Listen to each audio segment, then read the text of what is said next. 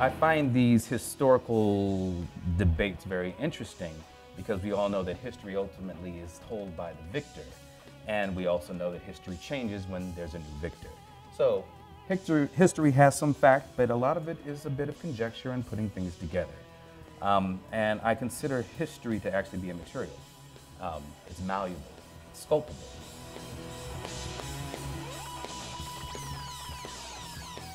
Sanford Biggers is a dexterous, hybrid, multidisciplinary artist who makes work which integrate film, video, installation, sculpture, drawing, original music, and performance. He is a mashup artist who understands the meanings of materials. He knows his references, and he intentionally rubs hip hop, Buddhism, politics, identity, and art history up against each other in order to find new openings for the interpretations of established symbols. It is my huge pleasure to welcome Sanford Biggers. Thank you. Good evening. How's everybody doing? Thank you. we all got them for sure. Um, so what is it? Uh, Wednesday, so happy Wednesday. Um, I, you know, thank you for that wonderful introduction. Really, um, I definitely could not have said that better myself. I'm very pleased to be here. Um, I want to thank you all for coming. And um, in staying with the tradition of the fact that I am an interdisciplinary artist, I think we should just start with a recent performance from one of my recent projects. It's a conceptual boy band, even though sometimes we're not all boys. Um, and it's called Moon Medicine. So I'm going to show you a clip of us performing recently at Lincoln Center.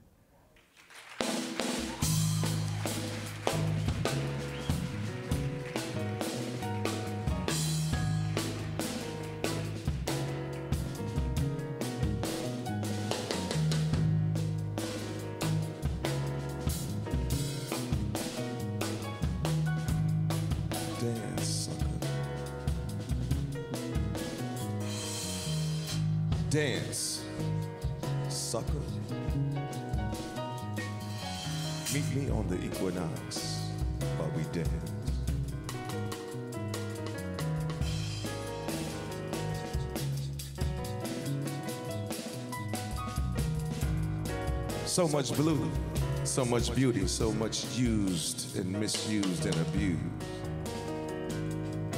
So we dance. You the type to make slaves, we the type to free them. We dance. Changing faces every night, we call them how we see them. So we dance. Sucker.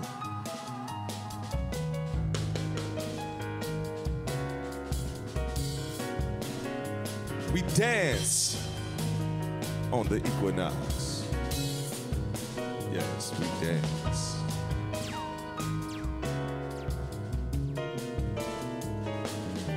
You ain't never had to suffer.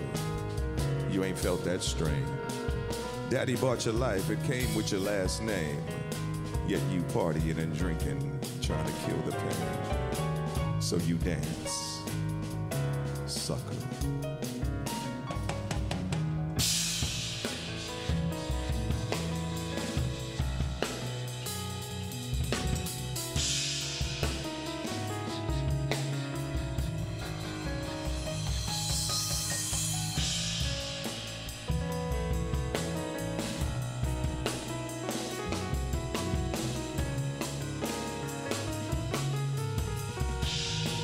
The rhythm is living. We, yes, we dance. Some dance for chicken.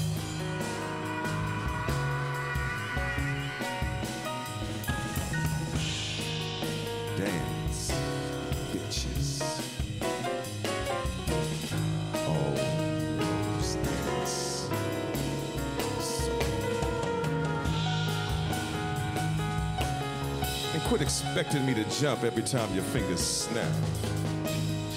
What's elevated to your ranks is really just a trap. Nah, baby, we ain't had to go to school to learn that. We bought into the pipe dream, now we want our money back. so we dance. So.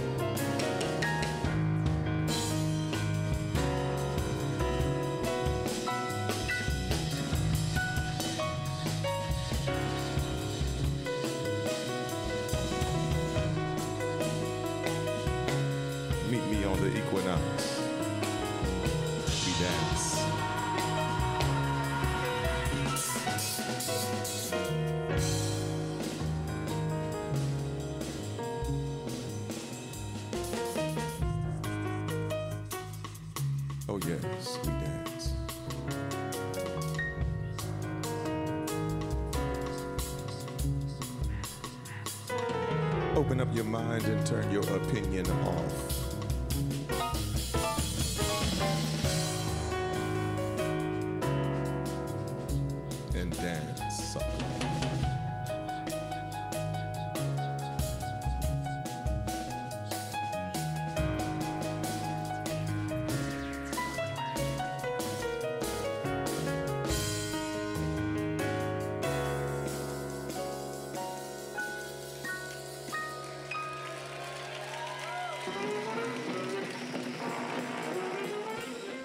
So, Moon Medicine. Uh, Moon Medicine started around 2007.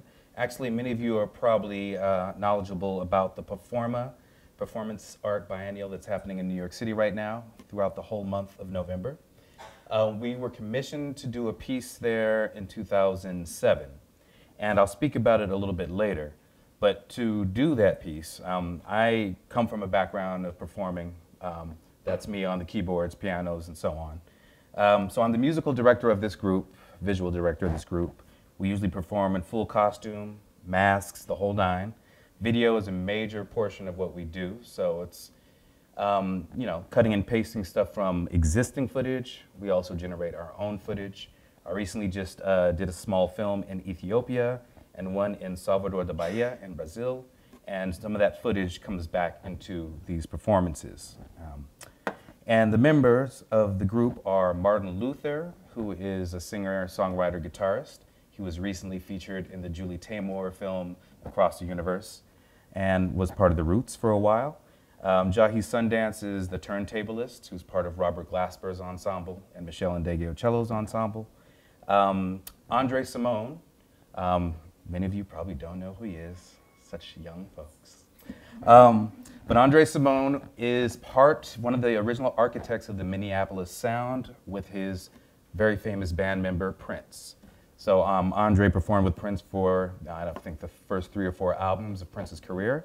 And he and I have been friends for over um, 15 years or so, and he's part of the band. He plays bass. Uh, Mark Hines does the AV technical things. So what you don't see in that video is sometimes we have the instruments plugged into MIDI controllers. So if I hit a certain chord, a certain video can appear. If the drummer does a certain routine, other videos appear. If the bassist hits certain notes, certain lights come on. So there is an interactive um, element happening. And in fact, in that footage that you saw, um, the video is by a friend of ours named Pierre Benu, who does fantastic video work. But um, it was supposed to be sang by a woman named Imani Uzuri, who in fact performed with me here in Boston many years ago at Harvard in Memorial Hall. But she was sick that night, so we had to improvise that whole piece. So that's what you saw there. But anyway, let's get to uh, some visual stuff, shall we? Um, I'm showing this piece right here just to give you a little background about how I work and how I think about objects. I've always been very influenced by the notion of power objects, fetish figures, and so on. All the work that you've seen in your um, archaeology and um, uh, classes where you see the work from indigenous groups from various places that were um, imbued with power and reverence from worship or ritual use. And I personally um, lived out of the country probably half of my adult life in various um, you know, cities. Um, the longest time would probably been three years in Japan, so you see a lot of that come across in the work as well. But throughout going to these various places and studying the ethnographic objects, um, I started to find ways to put in my own personal narrative and by extension an American narrative into these objects and imbue them with power as well. So what you see right here is an intervention I did in Princeton um, several years ago where I was asked to take different areas of their encyclopedic museum and do make artwork based on it. So this particular piece is in the pre-Columbian section. And what you see at the top right there is an Olmec head. And Olmec is a culture in northeastern South America, basically. And there have been arguments by historians for many, many years of whether these Olmec people were descendants of Africans or perhaps descendants of Inuit groups that came across the Bering Strait. And I find these historical debates very interesting because we all know that history ultimately is told by the victor. And we also know that history changes when there's a new victor. So history, has some fact, but a lot of it is a bit of conjecture and putting things together. Um, and I consider history to actually be a material. Um, it's malleable, it's sculptable. So in this case, if you have this Olmec head, this is around 600 AD right here, the head. So he's got the afro and the wide nose, and this was characteristic of the group. And right here is this dagger that has a fist on it. Now, the most famous Olmec works are usually these monolithic heads. They're around 12 feet to 18 feet tall. They're massive. No one knows how they got there. Similar to Easter Island and to Stonehenge. It's one of those mysteries. But my sense is that if somebody were able to put those heads there, they had to comb out their afros in the process. Yeah. So um, I made an afro pick out of wood that is indigenous to that region and put it right by the dagger that also had a fist on it because clearly they were putting fists on their daggers, their combs, you know. You follow my thought pattern there. So that's just a close-up of that. But um, you know, taking those ideas a bit conceptually further, um, I did this piece soon after that's called The Hangman's House. And this was a book that I found. I did many projects with found books. I was living in Baltimore at the time. And several libraries were closing and they were throwing away books. So I did a lot of recycling of these books and using them for work. And Hangman's House as a title struck me because I thought about the history of America and that in fact, America itself is a hangman's house. So, following the tradition of Nkisi and Minkisi artworks from Africa, um, from uh, Nigeria and Ife and the Dahomey and various groups, there's the idea that if you put nails and sharp objects and glass into a figure, that you empower that figure. Not only that, you scare away any enemies or intruders who come and see the fortitude of that group of people that is demonstrated by all these sharp, violent looking objects so I did that sort of as a ritual into this book in a way to sort of abolish the memory and the history of the hanging and the lynching in America.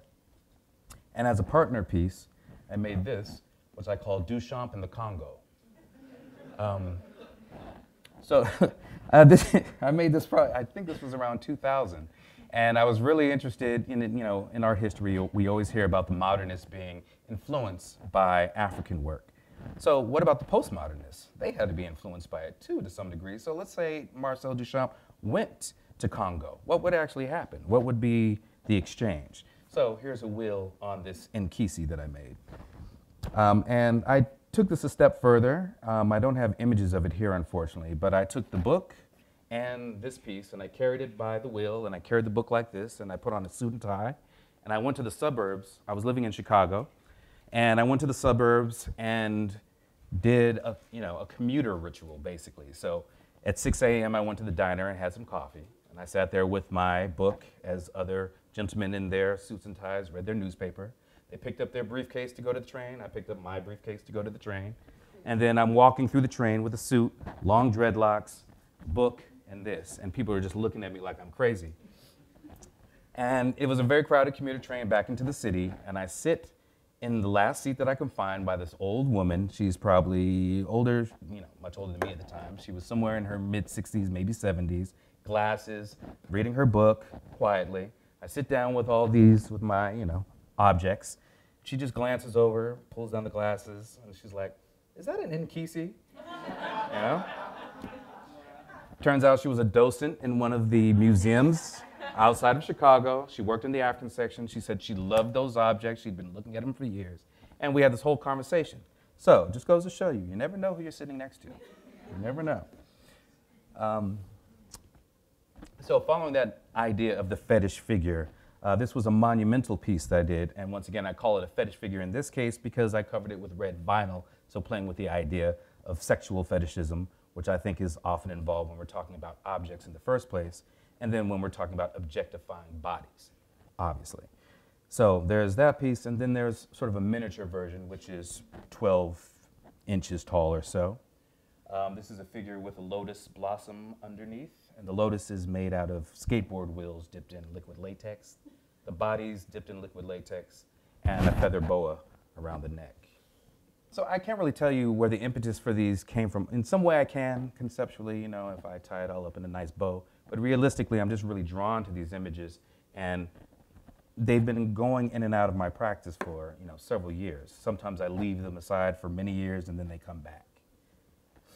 Um, and this is, you know, also some early work. This is these Buddha figures that I found, and I mummified them in fat shoelaces. And this is a clear cast one that inside has um, a fat gold chain and an Ndebele South African bracelet and a Puerto Rican flag and a Black Africa medallion, all of which were made in Taiwan or Mexico. And I found this particularly interesting because I would go to these botanicas and you know these religious stores in, in New York, and you would find the Buddha with all these implements. You know, I found uh, an opaque white Buddha, and on the bottom it had a clear bottom and it had rice, four-leaf clovers, and all these good luck charms, and it was made in Mexico. And I thought the cultural syncretism that you would go and buy this Asian object that was made in Mexico that had all these different you know, charms from various countries. Something about it seems silly, ridiculous, kitsch, but also very fertile.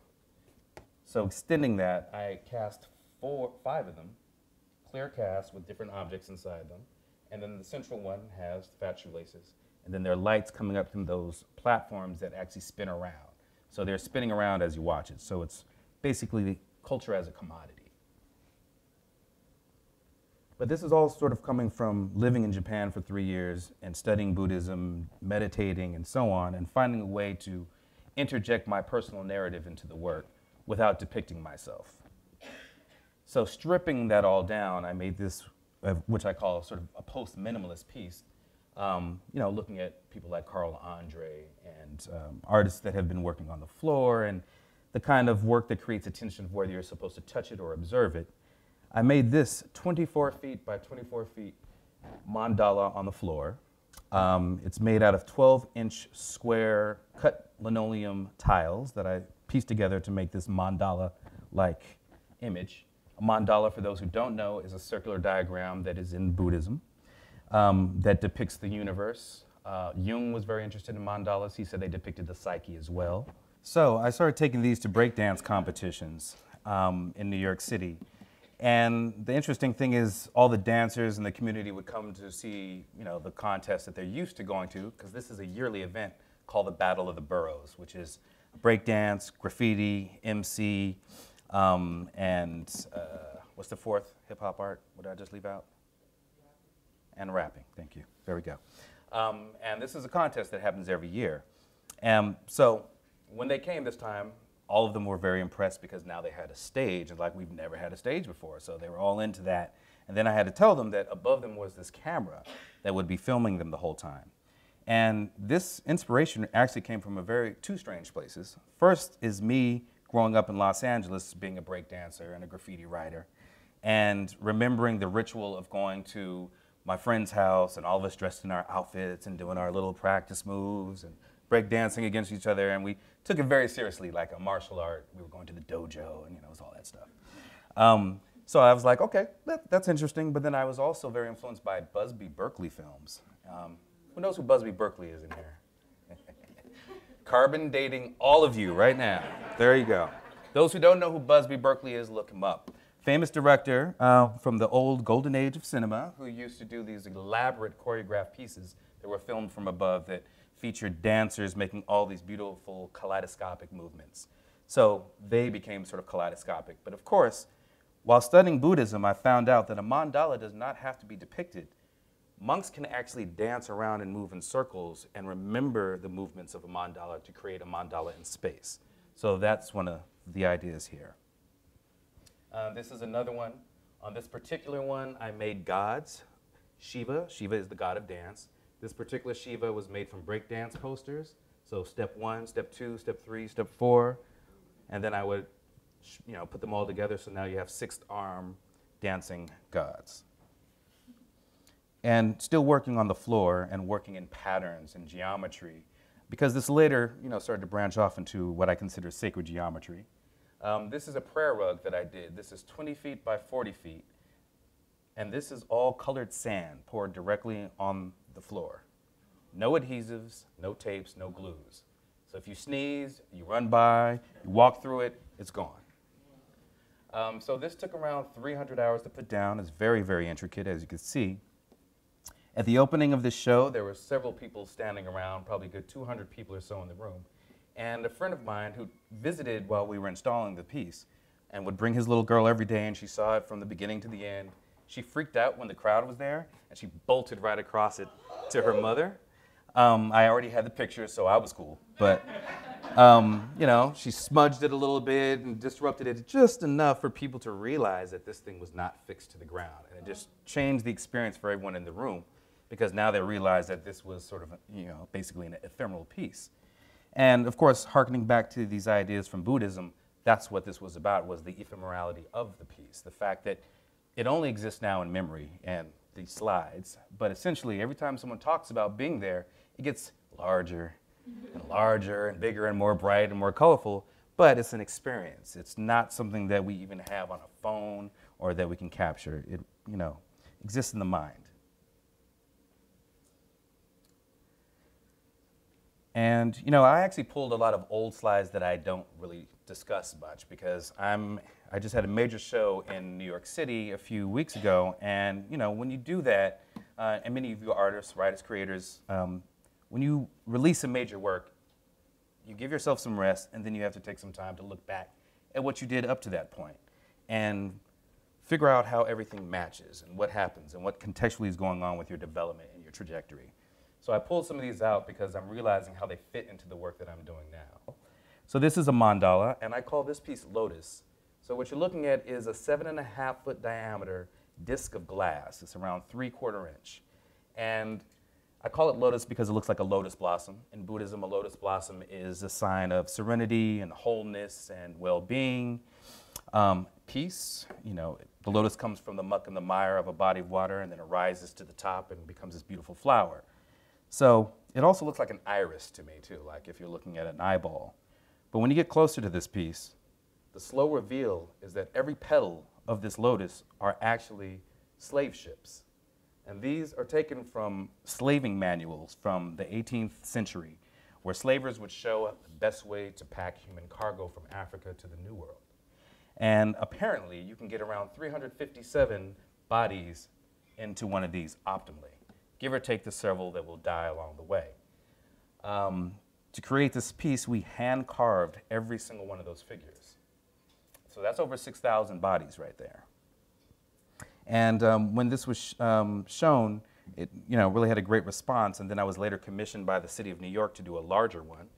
And this one is 30 feet in diameter, weighs around two tons, and is on the outside of a high school for young men in the Bronx. And to put that on the wall, I had to go through meeting after meeting after meeting, council and committee to approve this. And there were several people who didn't want that iconography on the wall. They thought that it didn't apply to the group that was there. And the student body was largely uh, Latino and black. And there were several people from places like Cuba and Puerto Rico for some reason that thought this didn't represent their history. And I, of course, have to open the history books and be like, please, um, any of you who know about the triangle uh, slave trade know that it went through, though. In fact, the U.S. had the least amount of slaves from Africa. Larger amounts were in Puerto Rico, Dominican Republic, Haiti, all the way down through all the islands. So, just a little factoid for you. Um, this is a random one. Um, I was just looking through some old books because um, I was just moving my apartment and I found this. And this is a picture of me in the early 2000s when I did a residency outside of Tokyo in a place called Moriya. And while I was there, I had a very intense relationship with this monk, and I would do seated meditation with him several hours a week, leading up to doing a project at his, um, at his temple. So for that project, I actually made these singing bowls, and many of you have probably seen these. These are part of Shinto temples uh, and, and, household altars uh, in the Shinto tradition, where you usually strike uh, the bell, light incense, and you know give thanks and praise to your ancestors. So for these particular ones, I took um, gold, fat chains and rings and bracelets that I found in Harlem and also found in Tokyo um, hip hop jewelry, basically, and worked with some artisans throughout Tokyo to melt them down into an alloy to then make these bowls. So inscribed on it, it says hip hop nisasagu, which means in fond memory of hip hop. I did this in, in 2000, 2005, so this was a long time ago because hip hop died around there anyway. Um, some of you might argue, but you're listening to hip hop, not hip hop. So this was sort of a commemoration to that. Um, and then we veer off a little bit. This is a piece called A Small World, and it's a collaboration between myself and a woman named Jennifer Zackin. So this was featured in the uh, 2002 Whitney Biennial. And what you're looking at are old home movies of me growing up on the West Coast and Jennifer growing up on the East Coast. Um, Jewish American family one side, black American family on the other side, around the same time, but essentially doing the exact same things. Christmas, Hanukkah, Passover, Easter, um, fifth birthdays, trips to Hawaii, family dinners, basic middle class Americana. So, by the end of it, you end up with this final frame with Jennifer playing piano on one side and me playing piano on the other side. I basically still play piano like that, so. Um, and the full installation was comprised of um, simulated wood paneling and a love seat and three inch thick shag carpet. So essentially, everyone can go into this room and feel comfortable and watch these home movies and sort of extrapolate what their own home movies might look like. And while this was up in the Whitney, it was interesting. It later got called the makeout room, supposedly, because all the high school groups would come there and the lights were low in this room and the kids would sort of hang out. So, so we put plastic on that now when we show it. Coming to a town near you.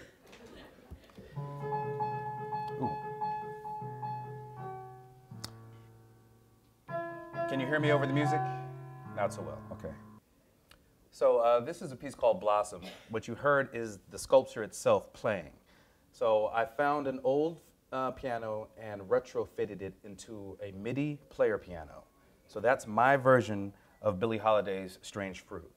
And it activates when people get close to it. It comes on. So the keys start moving, the pedals start moving, and you hear it uh, basically singing its song, giving its lament. This piece was influenced by an incident in Louisiana that is now referred to as the Jena 6 incident.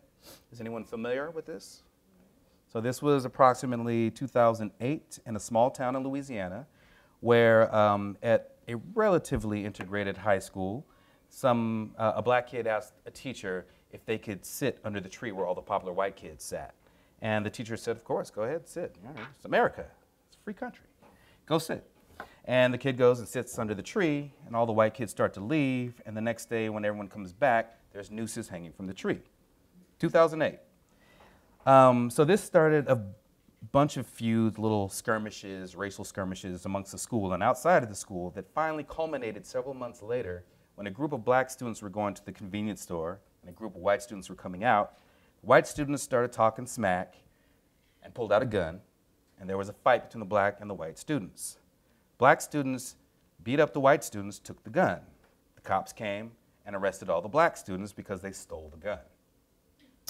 And after that happened, um, there were several people that marched on the city. So you could just look this up online. You can, you know, Mr. Google will show it to you. It's all there.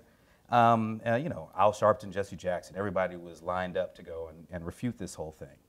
And it was just amazing to me that, you know, obviously that this still happens, but that was 2008, and we've, we've come so far since.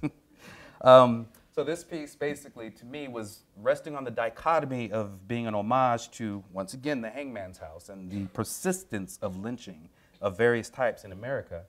Um, and this body, of course, the piano is a stand-in for the body in this case. But I also thought about the dichotomous meaning that the Buddha himself finds enlightenment underneath the tree. So ultimately, the tree acts as the axis mundi. It sees all that we do, good and evil, and so on. So it is a recurring theme in my work, as well as the piano, but you'll see the tree come about a lot. Um, soon after, I did this piece in Germany. This is called Cheshire, of course, based off of Lewis Carroll's Cheshire Cat. Um, this is a light box, so it comes on and it blinks and then it disappears. And then a few minutes later, it comes on and blinks again and then disappears. So, being shown in Europe and called Cheshire, it was taken at face value. But when I bought the same piece back and showed it in Richmond, Virginia, it automatically was strictly blackface minstrelsy. And then it brought up, of course, our own American pathology surrounding race. And again, I was interested in the dichotomous read of these works. Um, it's interesting, people ask me about shock, and I don't consider myself a shock artist at all. Um, some things I do might shock you, but there's always another story. I never make anything that's just a surface level piece. So for me, it was really about our ability to see past a signifier. In America, are we stuck on seeing this only one way, or is just an, this just an innocuous smiley face? Is this the circus? Is this the carnival? Or is it blackface minstrelsy? It was later commissioned um, to be a billboard, and this is in Chicago, and one of the most busy thoroughfares in Chicago. And you notice the original one has all teeth. This one is a little bit more battered and bruised, menacing, looking over the city. And then I started to do a large series of paintings, and this is some of my more recent work. Um, and these are paintings that I started doing on antique quilts. And in my research doing a project in Philadelphia, I came upon some, um, another historical debate about how quilts were used in the Underground Railroad. And there is a camp that says the quilts actually had coded messages, and they could be hung a certain way at a, at a house or um, over a banister, or have certain markers and patterns that gave directions to escaping slaves. And then there's another camp that said that never happened and that it's impossible and so on. But I find as a vernacular story and debate is very interesting and fodder for my work. All these quilts, mind you, are antique, pre-1900 quilts that I either find, are donated to me, or you know, I work with certain dealers that have old quilts that know that I'm looking for them. So they come from various sources, but it's all quilts that have been basically given away by their original owners. And I take them and I consider myself to be a late collaborator because oftentimes these quilts are made by groups of people, groups of women particularly. And I find myself to be a late collaborator, adding more code onto existing code. So what you see here is one thing, but how do you read this 50 years, 100 years from now? And this particular one, there's a lotus patch up at the top, another tree, and this silhouette so I mentioned that the figure, you know, and the fetish objects, sometimes they're in my work and then they disappear and then they reappear at times. And I started getting back into the figure, but only the, you know, the, uh, the impression of the figure. I call these specters, actually, because you never see their full uh, visage. This particular pose, however, and, you know, I consider these stand-ins for anybody. They aren't necessarily black, white, they're raceless, they're just bodies. But I do get their poses from places. And that pose that you're looking at comes from this historic um, image of a slave that had been whipped so long and so many times that he developed a very topographical keloid and scarring on his back. This is from the Library of Congress, um, very famous image. But when you take all those details out, it almost looks like a landover just, just you know, surveying their landscape something regal about the pose in a, in a way. And once again, it's about the dichotomy. Is there a way to change these horrific images and ideas and turn them into something else? I don't have the answer yet. I'm still working that out. But it, it's an impetus behind a lot of these pieces. And then sometimes I take several quilts or remnants of quilts that I get, sometimes they're not even full pieces, and I stitch them together to make different figures or different forms. And then combining the floor work and the quilt work. This is a quilt done out of colored sand. Uh, this was done last year in the Northeast, in Connecticut. And then all this was going on until Trayvon Martin and Eric Brown, and, I mean, Eric Garner and Michael Brown and Sandra Bland and the many, many, many countless names of people that were documented being basically killed, murdered by the cops. And it got me to thinking about the figurative work and the figures that I had collected when I was doing a lot of the fetish based work.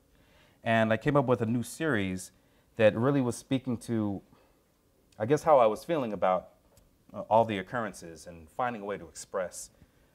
So I started taking um, figures that I had and dipping them in wax so that they became a little bit more abstract, more obscured, so they all looked the same.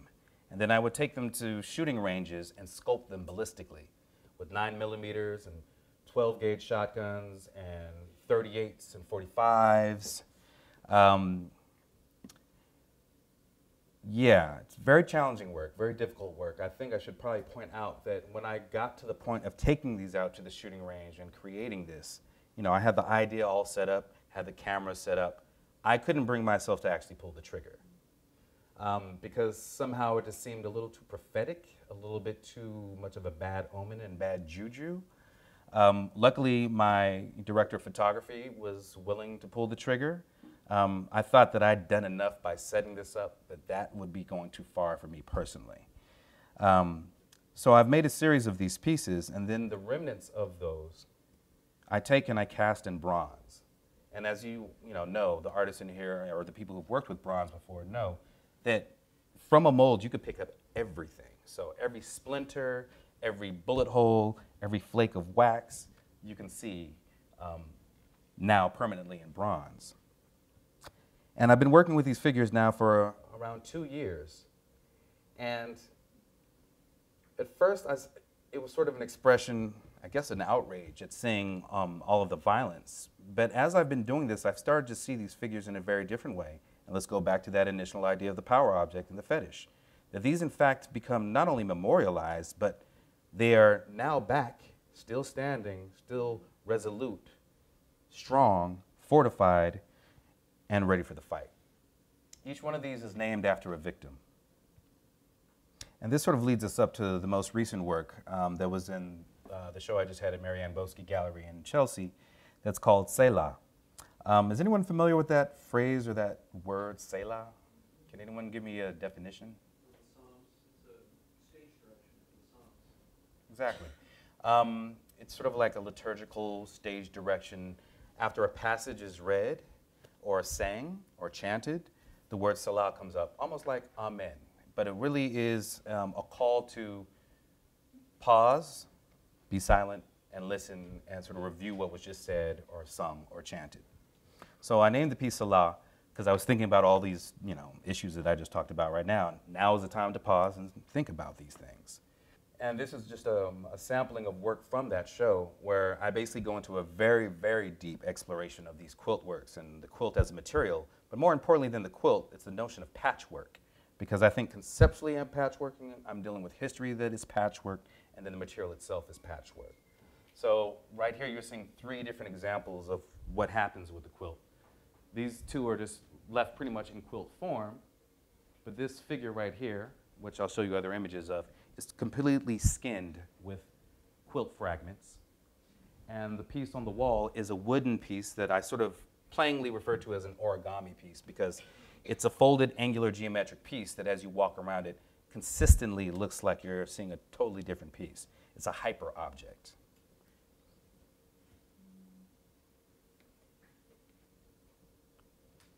On the opposite wall, I did several other quilt pieces. This one right here actually is on indigo fabric that is from antique Japanese futons. So going back into, um, you know, quilts from other countries basically, and that material research. Uh, this right here are quilt fragments that are all framed. And I've painted directly on some of the quilts, then framed it, and then quilt, uh, painted directly onto the frames itself. So when you look at this piece, you're constantly trying to figure out what layer all the mark making has happened because there's several layers to it. And the one on the far left is all framed. It's a framed triptych, three, four by four, I'm sorry, two foot by two foot pieces of quilt in a linear fashion, all framed, and then painted on the frame. So the black is actually on the frame, and you look through that to see the quilt. And in the back room, which was more of a meditative space, this is the largest bronze I've done to date. This is a six foot tall bronze. It's called Seated Warrior Queen, or Seated Queen. So this is basically the development of that earlier series of the smaller figures that were being shot. This one obviously is wounded, but she's regal. She's regal, royal, she's ready, she's powerful. And this is a profile of her in this quilt that's hanging. And this particular piece is uh, Japanese, antique Japanese um, kimono, um, the inside of an American quilt, more kimono fabric, and this is done with burnt cork that I draw. So burnt cork basically creates charcoal. But burnt cork was also the way that the black-faced minstrels used to blacken their face. This piece right here is called Overstood. Um, I don't think I have a scale picture of it, but top figure stands 14 feet tall. So this is very, very tall. When you stand, you're probably, I'm six feet, I probably stand to right around there. So, overstood, obviously, you're being stood over, but overstood is also patois, Jamaican patois slang for supreme understanding. If you overstood something, you understand it completely. So this is overstood. And this is actually a picture of four Black Panthers speaking in 1968 in California. Um, Bobby Seale is the one who looks like he's closest to the microphone. What you're looking at here that appears white and black in this picture is actually metallic silver sequins and black sequins. And I draw directly on the sequins by moving them around with my hand to create these forms. Um, and they're speaking about the closing of, well, there was a push to start an ethnic studies program at University of uh, San Francisco. Um, and the principal or the director or the president of the school fired one of the teachers who was pushing for this program who is George Murray, who is the second one, the tallest one. Now, unbeknownst to me, I'm going to the exhibition and I get a text from my friend. Her name is Tangi Murray. And she's like, You have a picture of my father on the wall. I had no idea. And I was like, Oh my God, Murray, Murray. Her father is this Black Panther. Not only that, she had her kids, and she took a picture of her kids standing under this you know, portrait of their grandfather, sent it to him, and he texted back a long message to me explaining exactly what was happening that day and inviting me for coffee the next time I'm in California. Um, I had no idea of all these connections. Um, and, you know, it's one of those things, you know, when you're doing your stuff and then these, you know, this, you know, you know. It was a magic moment, basically. But on the ground, these are hand-carved uh, figures. So sometimes I carve the figures myself. These are hand-carved. And my imagination was saying that if these were power objects and fetish objects, what would their actual power or figure look like? And this is what that projection is.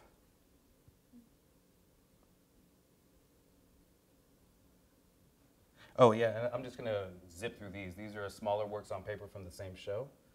Um, but you can see I'm really experimenting with, in this case, kente cloth, kimono cloth, old quilt fabrics, this is, um, this is the object called the ghetto bird tunic. Um, so it's a full-length jacket instead of being a down jacket with feathers on the inside. This one has feathers on the outside. And this was actually in that Princeton Museum show as well, where I made this object and put it in the African section. And um, to give this object more power, it has been worn by several performers to sort of embed it with more energy. And this is an image of the late, great Terry Adkins performing, wearing it for one of his performances. Here's another image of him opening up for my band, wearing the jacket and doing a solo. So performance is, you know, a pretty significant part of my practice. The objects go in and out of the performances as well. The performance is a way of creating and charging the objects that later get put on display. Um, so I really do feel that art has the ability to impact you beyond just the visual, but in a more visceral way when that erratic quality happens. You know, I am a big fan of appropriation. I know it's a bad word these days, but I think appropriation, without appropriation, I don't know where contemporary art would be. Everything is a quote. However, it is about the intent and the way you use those quotes that I think is really the deciding factor. And I think that's also implied in the aura that comes off of work. So this is Saul Williams wearing the same coat in another performance.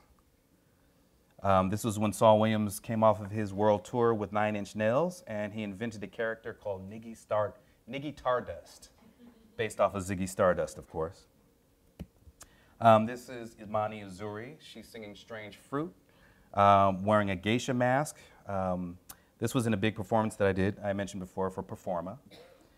The large female figure that you saw, this is her at um, the Roseland Ballroom on the very last party they had in New York City. What you can't see here very well, this is a mezzanine level, and here is a person. That's her elbow and her shoulder. So that gives you an idea of the scale of this piece. Um, and this was the backdrop for Santi Gold to perform to. And then I designed the costumes for Santi and her band. And then back again to my band, Moon Medicin. These are just some stills from us performing. And Lift Every Voice and Sing, many of you may know it or maybe not, but it is the black national anthem. Yes, there is a black national anthem. It was invented in 1904, so this is not new stuff. Um, and when I was a child, we used to sing this in my elementary school before we did the Pledge of Allegiance. And I never put my hand on my heart in the Pledge of Allegiance. So I was taking a knee back in the 70s. Um, don't get me wrong. I talk a lot of smack about America, and you know that's what Americans do. I don't think we're at the worst of times. I don't. Anyone who's been around knows that things go up and down, up and down. But um, you know, stand firm. We got a new world to create. Get ready. Um, so these are images from us performing. That was the killing of another unarmed black man. While we were performing, we, um, it, it happened the night before. And another thing about Moon Medicin is when we perform, we're taking current events literally from the morning of the show and just putting them back and feeding them through um, any of our performances. Um, this is one of the more out avant-garde songs where we show some um, performance clip from an ensemble um, that was performing all with uh, disabled utensils and crutches and wheelchairs and so on. And finally, Bob Ross. Everyone needs those pretty clouds and trees. And uh, I just want to close with one more clip of the band, if that's all right. It'd be fairly quick, but uh, this is us again at Lincoln Center performing.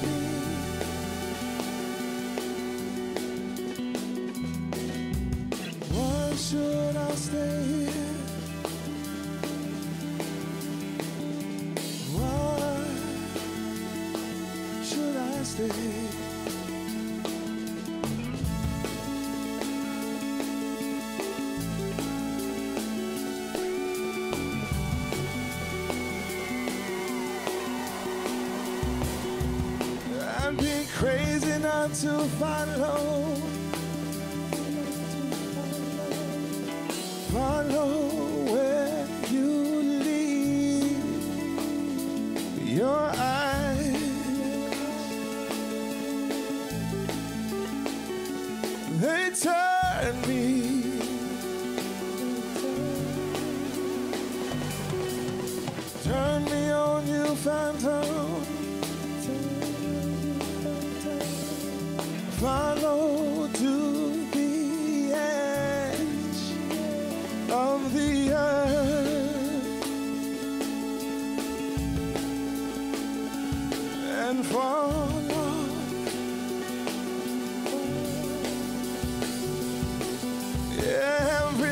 Society leaves. If they get the chance. Yeah. This is, this is my chance. I get eaten by the world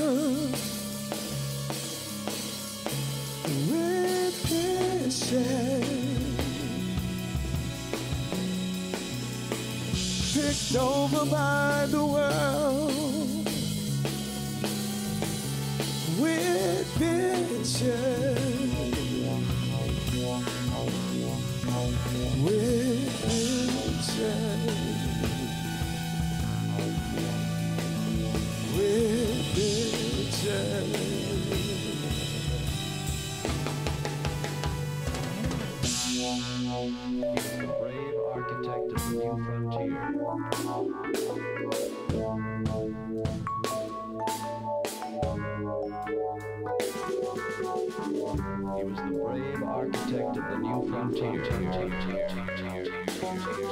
The new frontier.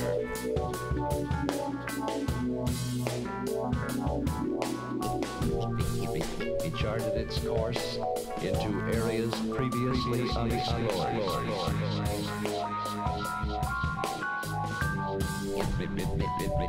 Into areas previously unexplored.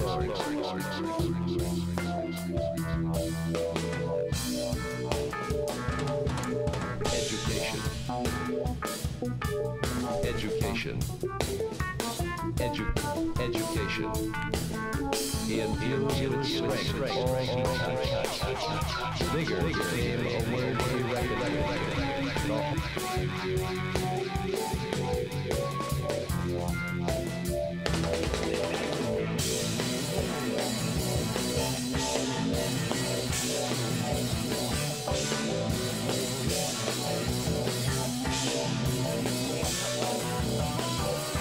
Got to find another way out of here. Have you seen my soul today? Oh, sitting in his grave, looking at my sphere. Pleasure seems so far away. Another day, another so much more we have to say. Don't you hear? It's your vision as clear as day. Oh, is it as clear as day?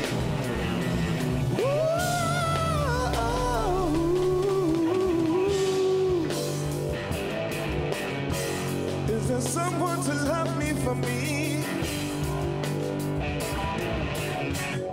Well, give it when your heart is free. Well,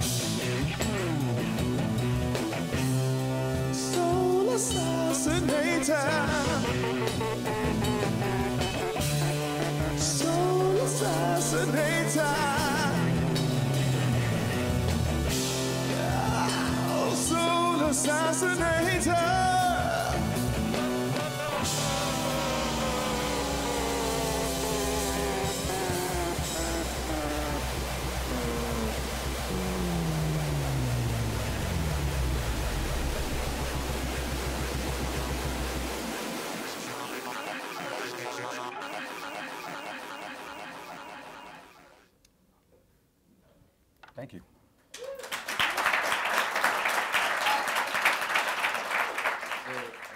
Of something that I'm thinking about in my own work. Um, so undoubtedly, your work is is conceptual and well informed and social commentary.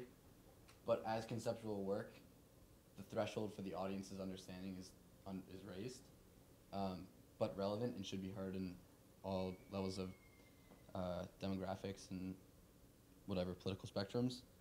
How do you address and what role does the audience play in your work? I mean, I think the audience is key. I think an artwork doesn't exist until the audience interacts with it, basically. Uh, with that being said, it's impossible to please everybody. Um, and in fact, you know, you have the benefit of me unpacking some of this work for you right now, and I sort of leave this opportunity to do that. I use this opportunity to do that. Um, but when the work appears, and I've experimented with this, so that's why I'm saying it. Um, I usually don't have that many didactics around. I've had times when I did have, you know, the wall labels that really broke things down, and I found that that actually, although it was good for some people, it took away from them just actually looking at the work and making up things for themselves. And I think art is a gateway in that sense. It's not supposed to be us definitively saying one particular thing. It's us coming from our opinion and our standpoint, but the work has multivalence. People can come at it with whatever their experiences are, and that's what they do. Optimally, for me, I would like multiple audience viewers to have a conversation with each other. Like you might see something and say, "Oh my God, okay, I, I see the uh, Carl Andre here, and I see you know 1960s this and da da da da," and someone else comes here and say, well, "I see Malcolm X," and then you're like, "Okay, well why? Why?" And then you have a conversation, and now you both leave a little bit more knowledgeable about something. Um, but one thing that I do particularly do is put enough signifiers and codes in my work that people who are not used to necessarily being in museums and that situations can glean some, you know, something from it. And first and foremost, I believe in, you know, tight formal work. You know, I'm not saying that you know it could be messy and provincial, and that, that's fine. But there is a level. Once again, this goes back to aura. You know when a work is worked. You know when it's singing and then it's talking, when it's doing something more than even the concept is. So seduction. Frankly, the work has to seduce the viewer to get through all those conceptual loopholes. So, Right. yeah. Thank you. Hi, um, thank you for coming. Um, I have a question. So, um, do you feel like your traveling has different places has like opened up your lens to a different type of artwork? Absolutely, absolutely. Um, um, as I mentioned, um, through art, I have literally lived in Brazil, Poland, Germany multiple times, Italy, um, Japan. Invited there for art purposes, and, in, and while there, studying and looking at everything I can find from those different cultures artistically, but also just looking at people and observing anything I could observe. Um, but in addition to what I gain from being in those places, I also have the ability to see my own country in a different light. And I think that's one of the most important things. Anyone who travels knows there's that basic theory of displacement. When you're not at home, you get to see your place a little bit more clearly. Um, and I highly recommend it for everyone. It is essential for Americans to get out of America and sort of see and gain some perspective of what's really happening around the world. So um, as much as I might get influenced by you know places, I'm also very conceptually and politically influenced by them. Thank you. The video of the sculptures being used as target practice Mhm. Was remarkably powerful. I can understand why you wouldn't want to take up the gun yourself. Mm-hmm. Just to be clear, the sculptures that were used were, the, were of your own making. No. Those sculptures were all from the continent, from various countries in Africa. Now, with that being said, some of them have quote unquote pedigrees and provenance of being old, antiquated pieces. Other of them, you know, they were made last week, two weeks ago, and covered, painted with shoe polish and acrylic. That's why I dip them in wax, because at that point it sort of neutralizes them. And I purposely use some that I know have a lot more history and some that don't have history because it's sort of the same process when, you know, I hate to say it like this, but when a cop jumps out the car and starts shooting, they don't know the history. They don't know the story. They don't ask the questions. They pull out. They pull up and they pull out. That's what they do. So those figures come from a mixed batch. Um, to me, that also makes the work on a personal level very risky and dangerous. Um, but at the same time, I think the message and what started that body of work is just so challenging and fucked up that I just go with it. You know, I'm like, sometimes the work exceeds your own in- intent. So that body of work is, it, I'm learning from it still, basically. Um, so some figures I do make, but the figures I do make usually go with the, uh, the silhouettes. And they are modeled after some of the um, African sculptures that I do find. Um, because I, I was thinking of Ai Weiwei's destruction Sure. of antique Mhm. Chinese vases Mhm. and how that triggers a great deal of controversy. And I, I see your point about hiding the history as an analog to what the cops are doing. On the other hand, I, I can't believe I would even be saying this, but if you were using actual antique mm-hmm. African pieces, that would also trigger a great deal of controversy. Well, And I some are, think- some are in there. you Yeah. know, It's a mixed bag. But, but, but we don't know. No? Oh, thank you very much. Another thing about the power objects you'll find is that the most powerful objects are usually not seen. They're usually covered. Hmm. So what is unknown is usually more powerful than what is known. So that's one of the reasons I like to keep that very nebulous.